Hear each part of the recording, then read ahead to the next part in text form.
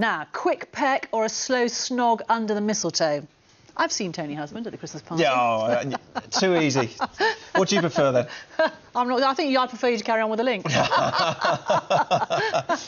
no problem. Uh, a wildlife charity says the festive plant now needs our support. Actually, the Sussex Wildlife Trust wants people to record where they see mistletoe in the countryside. And it's encouraging us to buy British. Mark Sanders has the story.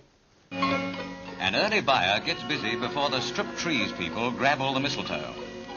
For a boy in short trousers in a black and white world, a stolen kiss under the mistletoe was enough to keep out the winter chill. But mistletoe is becoming an increasingly rare sight in the countryside. This clump we spotted near Ditchling.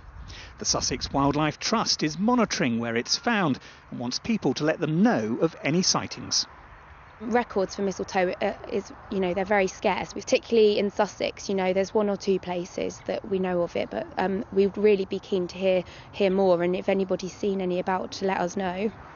Lost habitat is a problem. Most mistletoe we buy comes from traditional cider apple orchards but these orchards are disappearing. Cuckfield is a traditional sussex village.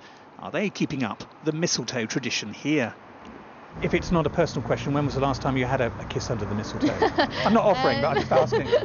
Um, I don't think I've ever had a kiss under the mistletoe. We've already bought some. Ah, is this a tradition for you?